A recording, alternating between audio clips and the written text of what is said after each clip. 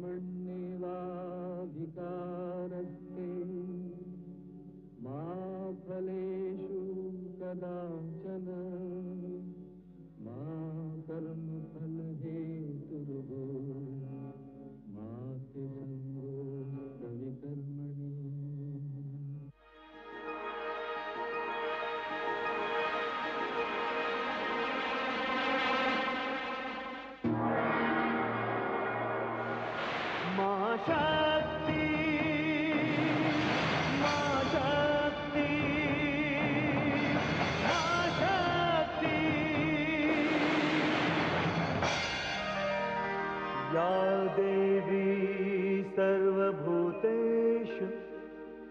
शक्तिरूपेण संस्थिता। नमस्तस्यै नमस्तस्यै नमस्तस्यै नमो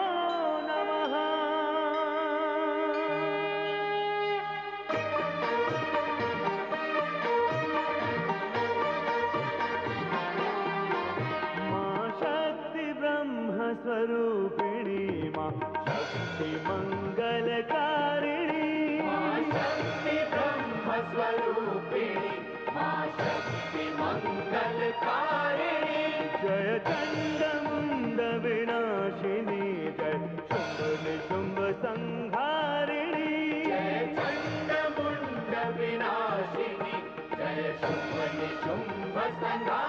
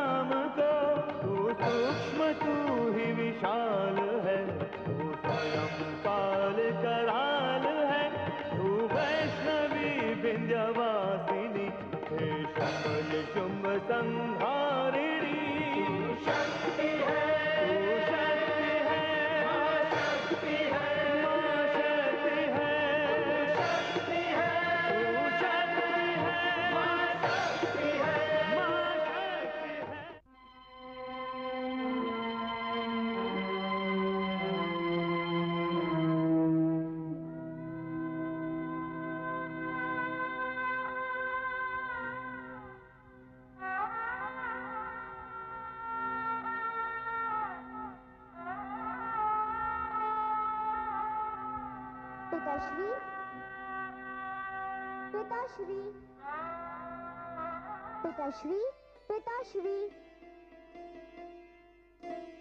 अरे पुत्री गौरी, मेरी लाडली, मेरी दुलारी, मेरे नेत्रों की ज्योति, मेरे हृदय की गति। क्या बात है? प्रतिदिन तो मैं तुम्हें जगाता हूँ। आज प्रातः तुम मुझे जगाने चली आई, क्या बात? पिताश्री आज एक बड़ा ही विशेष दिन है और मैं इस दिन को कभी नहीं भूल सकती। अच्छा आज के दिन में ऐसी कौन सी विशेषता है? पिताश्री आपको पता नहीं? नहीं पुत्री तू ही बता दे अपने नन्हे मुख से और घोल दे मेरे कानों में अपनी मधुरवाणी का अमृत। तो सुनिए आज आपका जन्मदिन है। ए पुत्री मैं तो भूल ही गया था। किंतु मैं कैसे भूल सकती हूँ? प्रतिवर्ष आपके जन्मदिन पे मैं ही तो आपको जन्मदिन की बधाई देती हूँ। मेरी पुत्री मेरे जीवन में कितने जन्मदिन आए और गए? किंतु जब से तू मेरे जीवन में आई है तब से जन्मदिन जन्मदिन लगने लगा है। एक बात बता पुत्री इतनी छोटी सी आयु में ये सारी बातें कैसे स्मरण रहती हैं? ये दिन भी भला कोई पुत्री भूल सकती है। मैं तो जीवन भर आपको इस दिन सबसे पहले बधाई देती रहूँगी। पुत्री इस बात को यही रहने दे। ऐसा कोई वचन न दे जिसको निभाना कठिन हो जाए। क्यों पिताश्री कठिन क्यों हो जाएगा?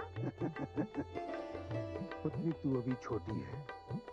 तू नहीं जानती विवाह के पश्चात कन्याएँ अपने पति के घर चली जाती हैं। एक दिन तेरा भी विवाह होगा तू भी अपने पति के घर चली जाएगी। मेरे जन्मदिन पर यदि तेरे पति ने तुझे आने नहीं दिया तो? नहीं पिताश्री, मैं अवश्य आऊँगी। पिता और पुत्री के संबंध के बीच और कोई संबंध नहीं आ सकता। मैं विवाह के पश्चात भी आऊँगी।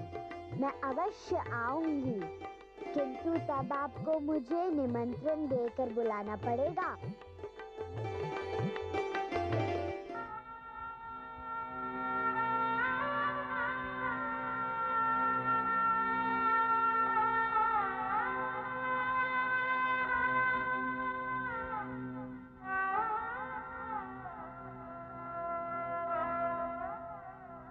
ऐसा क्यों किया पुत्री? तूने ऐसा क्यों किया?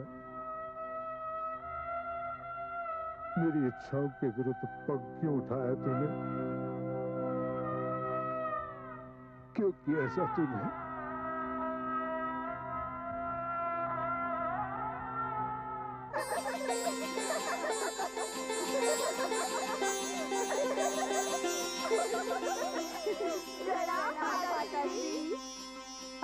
पुत्रियों तुम सबको देखकर मुझे बड़ी प्रसन्नता हुई। माता श्री जीजी गौरी कहीं दिखाई नहीं दे रही। वो कहाँ है? तुम्हारी जीजी गौरी यहाँ कहाँ? सब कुछ तो तुम्हारे सामने ही हुआ। फिर भी ये प्रश्न कर रही हो? माते, क्या पिताश्री अब भी रुष्ट हैं? रुष्ट हैं? पहले तो वो केवल भगवान शिव से ही रुष्ट थे। किंतु अब अब तो वे तुम्हारी जीजी गौरी से भी रुष्ट हैं। पता नहीं किस बात का अहंकार है उन्हें।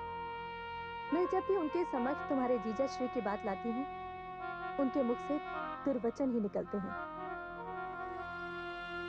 माता श्री, ये तो बड़ी ही दुर्भाग्य की बात है। ये बात सुनकर हमें बड़ी चिंता हो रही है। आप किसी भी प्रकार पिताश्री को समझाइए। उनसे कहिए, अपने अहंकार में अपनी मर्यादा न भूलें। क्योंकि भगवान शिव का क्रोध बड़ा प्रलयंकर है। पिताश्री के इस दुर्व्यवहार से यदि भगवान शिव क्रोधित हो गए तो महा अनर्थ हो जाएगा। और माताश्री, पश्चाताप का अवसर भी नहीं मिलेगा। तुम्हारे पिताश्री ऐसी गागर के समान ही, जिसे उल्टा रख दिया गया हो, जिसमें जल जाने का मार्ग तो है, किंतु जल जा नहीं सकता।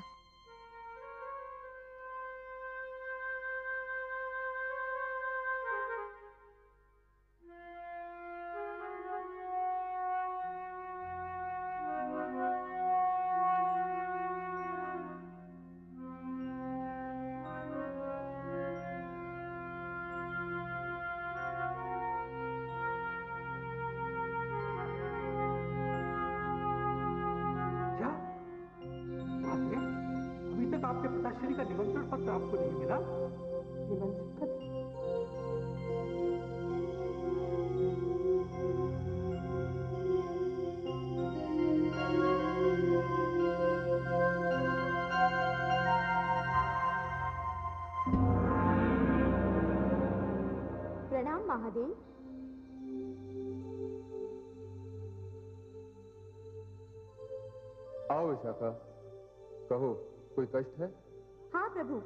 का ही समाचार लेकर आपके पास आई हूँ। कष्ट का समाचार? हाँ प्रभु न जाने क्यों प्रातःकाल से स्वामी देवी सती बहुत व्याकुल हैं तथा अस्वस्थ भी लग रही हैं और उन्होंने भोजन भी नहीं किया। अच्छा? मेरे लिए क्या आदेश है प्रभु? तुम चलो मैं स्वयं आकर देखता हूँ। जो आज्ञा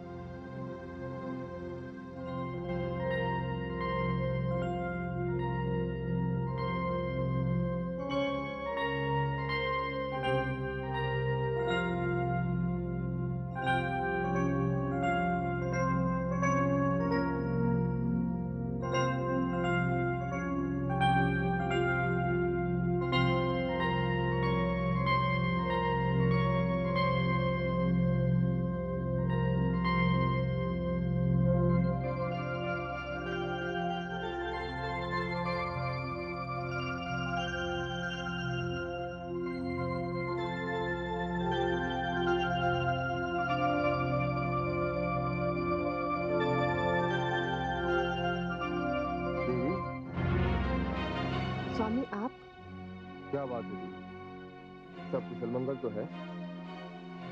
मैंने सुना आज आपने भोजन भी नहीं किया। नहीं स्वामी ऐसा तो कुछ भी नहीं। कुछ तो है दीदी वो ऋषि दधीची आए थे। अच्छा वे तो हमारे बहुत ही प्रिय भक्तों में से हैं। हाँ और इसी नाते उन्होंने मेरा भी बहुत सम्मान किया। पिताश्री के निमंत्रण पर वे उनके भवन गए हैं। आपके पिताश्री के निमंत्रण पर? हाँ स्वामी। पिताश्री अपनी षष्ठी पूर्ति के अवसर पर एक भव्य समारोह कर रहे हैं। अच्छा? हाँ देवाधिदेव आप जानते हैं बाल्यकाल से ही जब भी पिताश्री की वर्षगांठ आती थी तो उन्हें सबसे पहले मैं ही जाकर बधाई देती थी। अभी विवाह से कुछ ही समय पहले उनकी वर्षगांठ आई थी और मैंने उनका अभिनंदन किया था। वे तो मेरे बिना इस समारोह का आयोजन करने की सोच भी नहीं सकते। स्वामी वहाँ मेरी सारी बहनें आ चुकी होंगी। संभव है? और उनके साथ उनके पति भी आए होंगे। हाँ यदि तुम्हारे पिताश्री ने उन्हें निमंत्रण दिया होगा तो अवश्य आए होंगे। स्वामी मेरी बड़ी इच्छा है कि मैं भी पिताश्री के जन्मदिन पर जाकर उन्हें बधाई दूँ और बाल्यकाल से चली आ रही इस परंपरा को टूटने ना दूँ। आप चलेंगे मेरे साथ? मैं? हाँ। आप? देखिए दीदी षष्ठी पूर्ति एक बड़ा समारोह होता है। इसमें आपके पिताश्री के समस्त मित्र उनके सारे संबंधी निमंत्रण पाकर ही आए होंगे। और हमारा बिना निमंत्रण पाए वहाँ जाना उचित नहीं होगा। देवी नीति तो यह कहती है कि बिना निमंत्रण पाए अपने आराध्य के घर भी नहीं जाना चाहिए। सुनो। इस ओर ऋषि मुनि बैठेंगे। ये स्थान यक्षों और गंधर्वों के लिए है। और उस ओर मेरी आश्रित प्रजा बैठेगी परंतु ये स्थान विशेष है। यहाँ केवल भगवान, विष्णु पिता श्री ब्रह्मा और मेरे जामाता ऋतुराज और सप्त ऋषिगण बैठेंगे। ध्यान रहे यहाँ कोई और नहीं बैठेगा। और देवादिदेव भगवान शिव और माता सती कहाँ विराजमान होंगे? आइए आइए अथर्वण पुत्र दक्ष के महल में आपका स्वागत है। आपने मेरे प्रश्न का उत्तर नहीं दिया। प्रजापति दक्ष आप अभी तक भगवान शिव माता सती के स्थान को निश्चित नहीं कर पाए। कदाचित आपने उन्हें निमंत्रण पत्र भी नहीं भेजा। देखिए आदरणीय मेरी विनती स्वीकार कर। इस यज्ञ में मेरा मार्गदर्शन करने के लिए आप सबसे प्रथम आए। इसके लिए मैं आपका हृदय से आभारी हूँ। किंतु आप ये नहीं जानते कि शिव से विवाह करने के कारण मैंने पुत्री गौरी का त्याग कर दिया है। यहाँ तक मैंने उसे अपने हृदय से भी निकाल दिया है। क्या? क्या कहा प्रजापति? दक्ष? आपने माता सती का त्याग कर दिया? एक बूंद ये कहे कि उसने मेघों का त्याग कर दिया। क्या यह संभव है? एक पक्षी ये कहे कि उसने आकाश का त्याग कर दिया। इसका क्या अर्थ हुआ? यज्ञोदानम तपस्यवा पावनानी मनीषिणा जिसके मन में पाप है, वो यज्ञ का अधिकारी नहीं होता। आप लाख बार भी माता सती का त्याग कर दें। तो उससे कोई अंतर नहीं पड़ता। किंतु यदि एक बार माता सती ने आपका त्याग कर दिया तो आपको पूरी सृष्टि में कहीं शरण नहीं मिलेगी। अरे, ये तो उपकार है उनका। जो आपके यहाँ जन्म लेकर उन्होंने आपको गौरव प्रदान किया। उपकार है भगवान शिव का। जिन्होंने आपका जामाता बनकर आपको सम्मान दिया। और आप ये कह रहे हैं कि आपने उनका त्याग कर दिया। प्रजापति दक्ष अपनी भूल सुधारिए और शीघ्र अतिशीघ्र पवन दूत द्वारा उन्हें निमंत्रण भेजिए। क्षमा करिए मुनिवर। ये संभव नहीं है। यदि ये संभव नहीं तो इस यज्ञ की सफलता भी संभव नहीं। आप यज्ञ करने जा रहे हैं और यज्ञ में ब्रह्म का निवास होता है। आप इतना बड़ा पुण्य कार्य करने जा रहे हैं, किंतु आपके मन में इतनी मलिनता भरी हुई है, इतना पाप पल रहा है। आपका कल्याण इसी में है। शीघ्र अति शीघ्र अपनी भूल सुधारिए। घृणा से नहीं, प्रेम से काम मैं पुनः आपसे एक बार निवेदन करता हूँ कि उन्हें निमंत्रण पत्रिका भिजवाइए। नहीं मुनिवर। आप कृपया ये हट छोड़ दें। प्रजापति दक्ष, अपना हट छोड़ने से क्या अच्छा नहीं कि मैं ये मंडप ही छोड़ दूँ? आपने मुझे जो उत्तरदायित्व तो दिया था, मैं उससे मुक्त हो रहा हूँ। मैं जा रहा हूँ। जिस यज्ञ में मेरे आराध्य देव भगवान शिव, अपनी से सहधर्मणी माता सती के साथ उपस्थित न हो, वहाँ मेरी क्या आवश्यकता? अब आप अपने अमंगल की प्रतीक्षा करें, प्रजापति दक्ष। अमंगल नदी विपरीत दिशा में बहने लगे ये संभव है। चंद्रमा से आग बरसने लगे ये संभव है। सारे असंभव संभव हो जाएँ, ये भी संभव है। किंतु रूप और संस्कार से ही शिव को मैं आमंत्रित करूँ। ये असंभव है, ये असंभव है।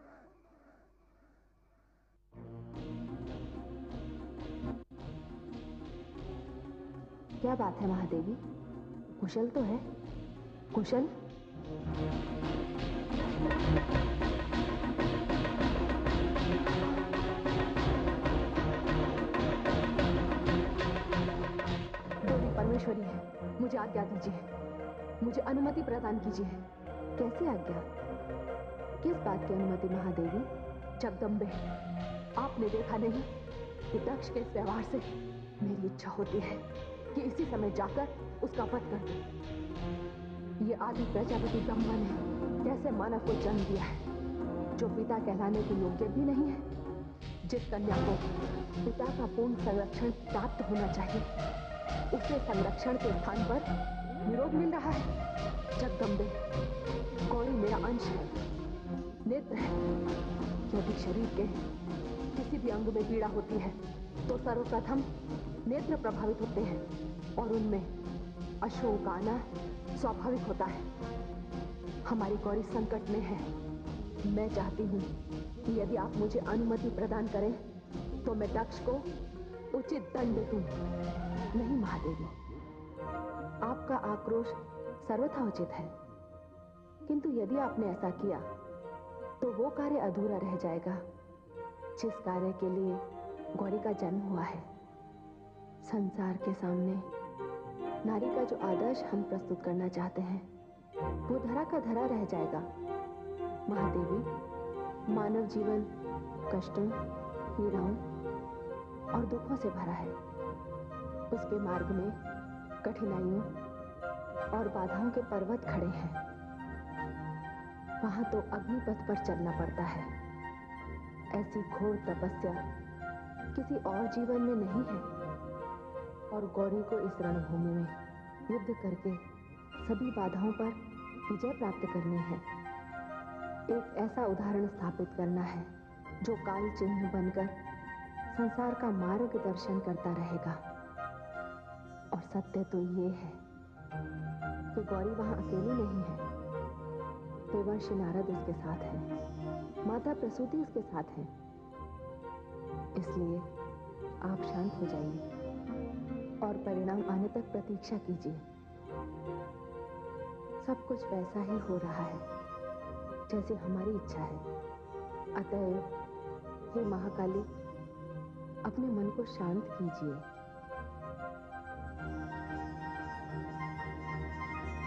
जैसी देवी परमेश्वरी की आज्ञा। देवी? आपकी बात ना मानकर मुझे दुख तो हो रहा है। किंतु ये बात आप भी जानती हैं और मैं भी। कि आपके पिताश्री के मन में मेरे प्रति कितनी घृणा है, कितना बैर है, कितना अहंकार है। और बिना निमंत्रण वहाँ जाकर हमारा जो अपमान होगा, मैं आपको उस भीषण परिस्थिति से बचाना चाहता हूँ। देवादिदेव वे मेरे पिता हैं और आप उनके जामाता। इस नाते वे आपसे बड़े भी हैं और श्रेष्ठ भी हाँ। देवी वे मुझसे सदैव श्रेष्ठ रहेंगे। मुझे आपके कथन पर वहाँ जाने में तनिक भी आपत्ति नहीं होगी। यदि उन्होंने किसी को भी नहीं निमंत्रण भेजा होता तो। यदि आप क्षमा करें तो मैं आपसे कुछ निवेदन करूँ स्वामी? कहू देवी। स्वामी मेरे लिए तो वो घर मेरे पिताश्री का घर है। पिता पुत्री का संबंध ऐसा संबंध होता है जिसके बीच कोई औपचारिकता नहीं होती। यदि आप अनुमति दें तो मैं अकेली चली जाऊँ? क्या? वहाँ जाकर मैं आपके लिए भी निमंत्रण पत्रिका भिजवाऊँगी। आपने सत्य कहा देवी पिता पुत्री के बीच कोई औपचारिकता नहीं होती। किंतु ये औपचारिकता उस दिन आरंभ हो जाती है जिस दिन पिता अपनी पुत्री का कन्यादान अपने जामाता को कर देता है। मेरी तो अब भी ये इच्छा है देवी कि आप भी वहाँ आ जाएँ। मैं जानता हूँ देवी जब सारी बहनें अपने पिता के घर एकत्रित हो रही हों और ऐसे अवसर पर आपका वहाँ ना जाना, ये विचार ही बड़ा कष्टदायी तब तो आप मुझे जाने की अनुमति दे दीजिए, स्वामी। मैं आपको विश्वास दिलाती हूँ, मेरा इस प्रकार वहाँ जाना मेरे पिताश्री की प्रसन्नता का कारण बन जाएगा। ये सब कुछ भूलकर इस संबंध का मान रखेंगे। तथा उनके मन का, सारा मैल धुल जाएगा। मुझे जाने की अनुमति दे दीजिए ना देवादिदेव देवी। आदि शक्ति परमेश्वरी की न जाने क्या इच्छा है। वे स्थिति के निर्माण से न जाने क्या सिद्ध करना चाहती हैं। आप हट कर रही हैं कि आपको अपने पिताश्री के घर जाना है। मैं तो आपसे अब भी यही कह रहा हूँ, देवी, कि आप वहाँ ना जाएँ। किंतु आपके हट को देखते हुए मैं आपको वहाँ जाने की अनुमति दे देता हूँ। आप सचमुच देवाधिदेव हैं महादेव हैं अद्वितीय दानी हैं कृपा सिंधु हैं। इस समय तो मैं केवल आपका पति हे स्वामी मैं जानती हूँ कि आप रुष्ट होंगे। किंतु न जाने क्यों मुझे ऐसा लगता है कि मेरे पिताश्री ने यज्ञ मंडप में आपका स्थान अवश्य सुरक्षित कर रखा होगा क्योंकि हर व्यक्ति लोक निंदा से डरता है। उससे बचना चाहता है। और मेरे पिताश्री इसका अपवाद नहीं है। देवी अब हम इस विषय पर कोई वार्तालाप नहीं करेंगे। स्वामी आपसे अलग रहना मेरे लिए संभव नहीं है। हे कैलाशपति वहाँ जाकर मैं आपको बुलवा लूँगी या स्वयं लौटाऊँगी।